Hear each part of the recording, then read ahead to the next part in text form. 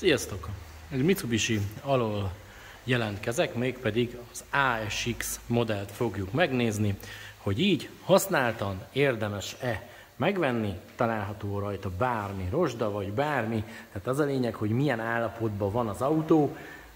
2010-es és 90 293 ezer kilométer van benne, Németországból származik, tehát egy külföldi autóról beszélünk, és gyakorlatilag meg fogjuk nézni, hogy milyen állapotban van. Ugye ez egy bő 4 milliós kocsi, tehát azért mindenféleképpen, aki úgy gondolom, hogy ennyi pénzt kiad, az kíváncsi, hogy mit kap a pénzéért gyakorlatilag. No, hát itt ha elkezdjük nézni a kocsi alját, akkor természetesen azt látjuk, de még mielőtt nagyon ránézzünk a motor hátuljára, általában itt hátul elég jó rá lehet látni a motorokra, legalábbis ezek a modernekre, ezért tudjuk vizsgálni, hogy bármiféle olajfogyasztás, bármi van-e.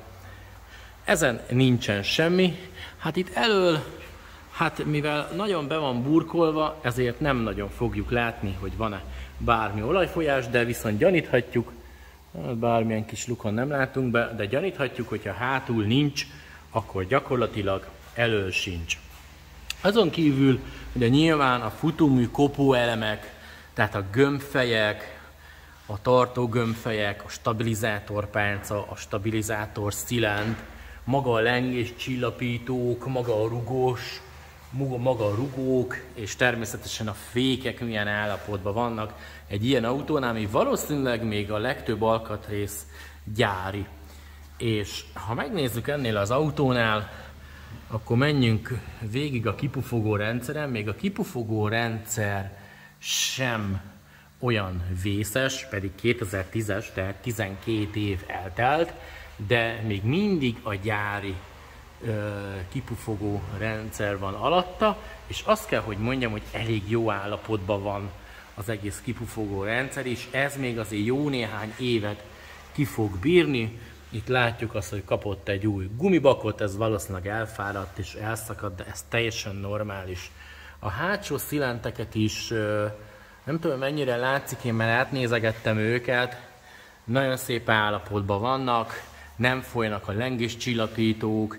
Itt a hátsó fék kicsit rozsdás, de majd ez kicsit használni kell, mert most állt egy picit az autó, főleg itt az esőbe, és ilyenkor ugye berosdásodnak gyakorlatilag a fékek, de ezek le fognak kopni, majd, hogy elindulunk az autóval, ez természetesen szépen fel fog kopni, látjuk azt, hogy a betét sincsen elkopva, és a tárcsának sincsen nagy válla.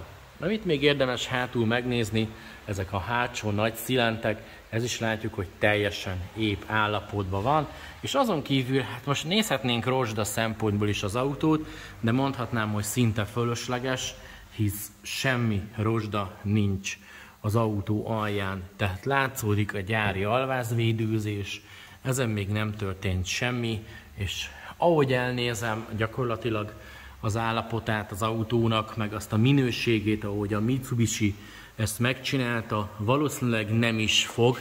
Tehát ugye még itt a takarólemez alatt, mert ugye ez egy műanyag, itt szoktak alatta rozsdásodni, de még ha megnézzük, még ott sem látunk semmiféle rozsdát. És természetesen a hátsó, hát ez egy általában az összes autónál egy ilyen nagyon-nagyon rossz pont. Itt kezdenek el legelőször rozsdásodni az autók, ennél abszolút semmi rozsdát nem látunk. Természetesen a fékcsöveket is vizsgálni kell, milyen állapotban vannak, be vannak-e töredezve, itt megnézzük a másik oldalt is, tehát teljesen jó állapotban van, az összes szilent, stabilizátor szilentet látunk, túloldalon is stabilizátor szilentet.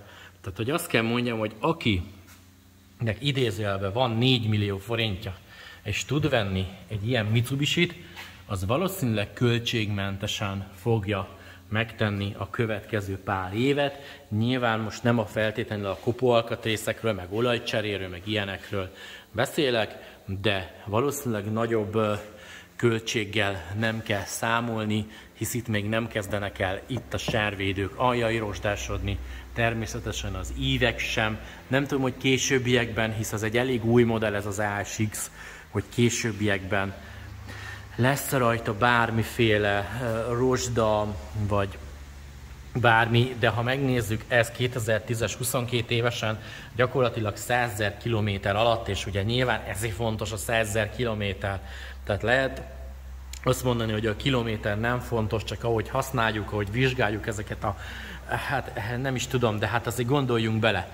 Tehát bármennyire óvjuk, azért kopik a generátor, kopik a motor, kopik az önindító, kopnak a különböző forgó alkatrészek, tehát a kilométer nagyon-nagyon-nagyon is fontos. Na de, még egyszer, aki mondom, aki ilyen Mitsubishi-t megvesz, az valószínűleg talán azt mondom, hogy a hát, talán a hátsó kipufogóval fog kezdeni, de így ránézésre azért csak egy felületi rozsda, tehát látjuk, hogy nagyon vastag. Tehát annyira épp még, annyira vastag, tehát valószínűleg még jó néhány évet, hát tippelek azt mondja, három-négy évet még ez a hátsó dob is kibír. És hát ahogy elnézem a futóműnek, meg az egész kocsi alját, rövid távon biztos, hogy nem kell rákölteni az autóra. Ugye ez egy kis terepjáró, ez nem az összkerekes verzió, van ebből összkerekes verzió is, ez egy sima verzió, és uh, igazából ez az egyszerűbb.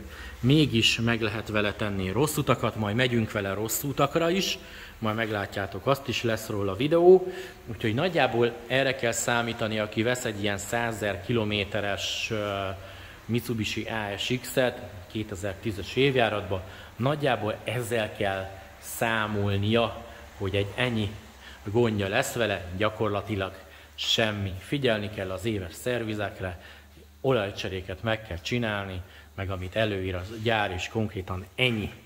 Úgyhogy ez volt a Mitsubishi ASX, majd még lesz vele sok videó, úgyhogy kövessétek, meg kövessetek engem is, le van még több videóm, és konkrétan most már 600 fölött járunk, úgyhogy bőven mutatok be rengeteg használt autót, de ez a Mitsubishi-vel is mondom, még bőven lesz teszt, megyünk terepezni, megyünk autópályára, és jó néhány helyen ki fogjuk próbálni, hogy mit tud egy ilyen kis fiatal Mitsubishi, hogy mire számíthat, aki ilyenbe töri a fejét. Én úgy gondolom, hogy egy nagyon jó választás, de majd meglátjátok a videók alapján.